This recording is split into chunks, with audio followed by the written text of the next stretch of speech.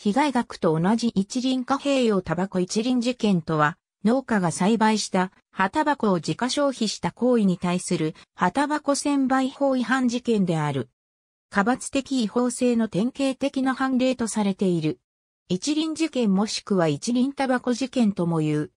栃木県那須郡在住の農民は1909年11月に栽培し乾燥していた葉タバコの内価格一輪に相当する一問目の7分を手もみにして喫煙した。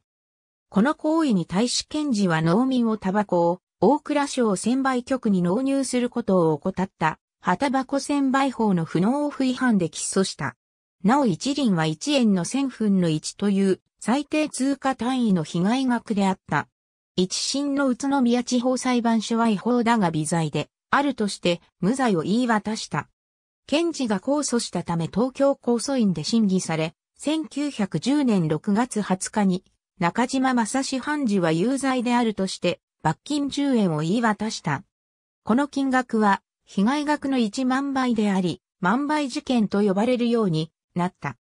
この判決に対し、放送会から損害に対し刑罰が苛烈すぎると批判され、法律家が上告審の弁護を引き受けることになった。最終審である大審院は10月11日にに新判決を破棄し無罪とする判決を言い渡した。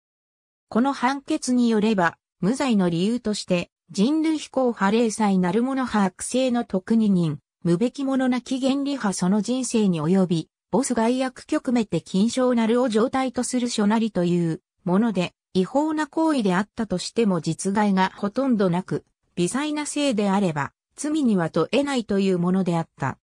ABCDEFG 事件犯罪研究会2002 P661 一輪同化は明治6年から17年まで製造されたが、事件当時には製造中止になっており、事実上流通していなかった。事件犯罪研究会2002、ピアニッシモ661から662。